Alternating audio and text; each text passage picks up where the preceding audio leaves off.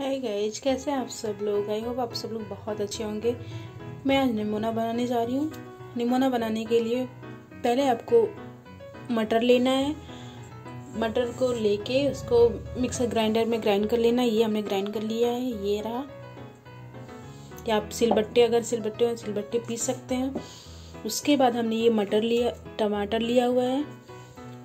ये धनिया, ये मिर्चा, ये लहसुन की कलिया जीरा। उसके बाद ये आलू हमने लिया है। आलू हमने फ्राई करने के लिए रख दिया है।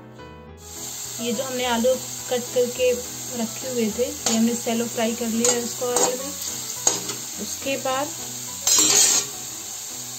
ये जो हमने मटर को पीसे हुए थे, ये अब उस पर डाल देंगे। उसको फ्राई करेंगे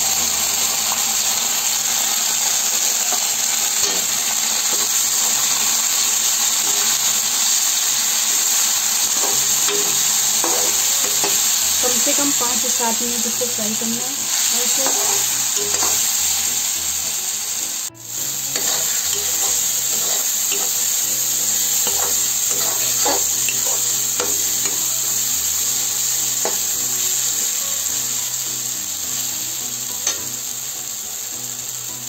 अब इसके मसाले तैयार कर लेंगे। पहले हम इसको लहसुन की कली डालेंगे।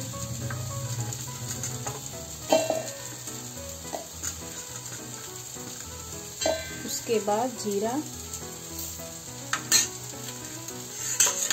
ये मिर्च, धनिया, बस। और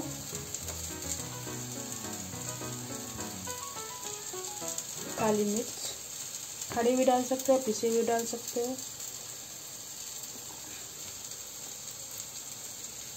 उसके बाद हम इसको मिक्सर ग्राइंडर में पीस लेंगे। फ्राई हो गया है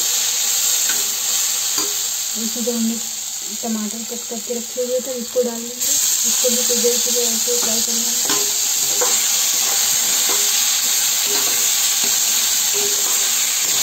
ये टमाटर लास्ट में डालने से जलता नहीं है धीमी आँच पे करेंगे नहीं तो लगने लगेगा कि हमारे मसाले पिस के रेडी हो गए ये बहुत सारे लोग इसमें धनिया वगैरह जो मसाले होते हैं वो डालते हैं। हम इसमें कुछ नहीं डालते हैं। सिंपल तरीके से बनाते बहुत टेस्टी बनता है। उसके बाद जो हमने फ्राई किया हुआ था ये ये रख देंगे। दोबारा कढ़ाई में तेल गरम करेंगे ये मसाले को फ्राई करने के लिए। ये हींग डालेंगे। तेल मेरा गर्म हो गया।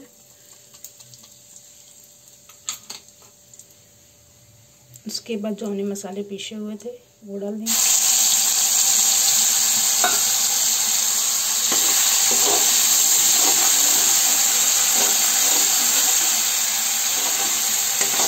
इसको भी पाँच से सात मिनट के लिए ऐसे अच्छे से भून लेंगे।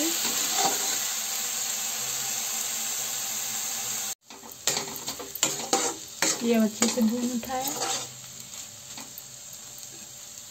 इसमें हम पानी डालेंगे।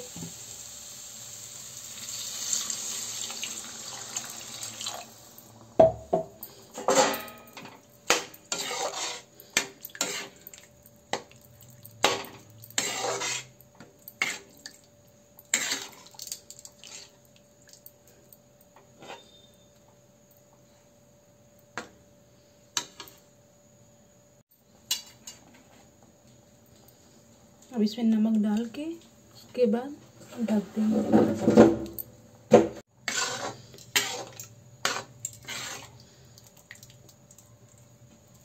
नमक हमने डाल दिया है, अब इसको कुछ देर के लिए ढक देंगे। अभी ये निमोना हमारा रेडी हो गया है।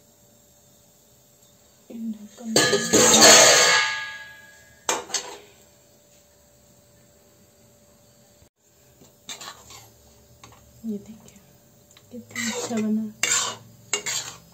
आप इसको चावल के साथ, रोटी के साथ, किसी के भी साथ ले सकते हैं इसको।